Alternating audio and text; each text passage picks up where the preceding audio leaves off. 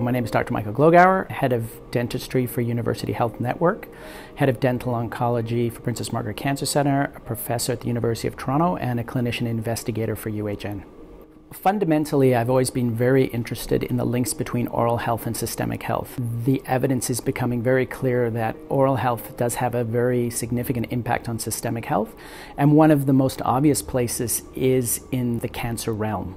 One of the important modalities of therapy for head and neck cancer patients is radiation. But as a result, there are some impacts on normal physiologic oral health, uh, including xerostomia, the development of dry mouth due to uh, an impact on the salivary glands. There can be loss of certain tissues which uh, have to be removed surgically as a result of the cancer therapy, and, and these all have an impact on the health of the patients after they've survived their cancer. So, what happens at this hospital is that all the head and neck cancer patients uh, are screened for dentistry very, very early on so that we have an opportunity to eliminate any dental disease educate the patients and making sure that they're ready to proceed with their radiation. And we also see the patients halfway through their radiation therapy and then up to a year after, so we ensure that they have optimal oral health, are able to look after their mouths to prevent the risk of sequelae later on.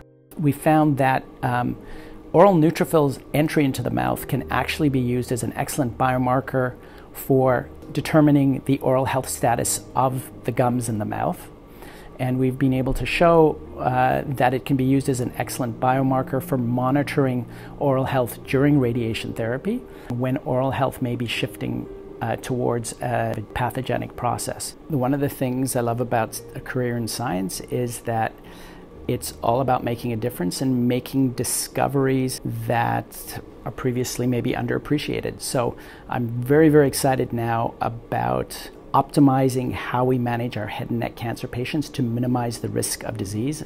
And I think uh, with my collaborator, Erin Watson, we're going to make a significant difference in how we manage head and neck cancer patients.